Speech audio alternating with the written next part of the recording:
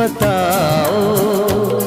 तेरे पास में आओ आ जाओ। जब से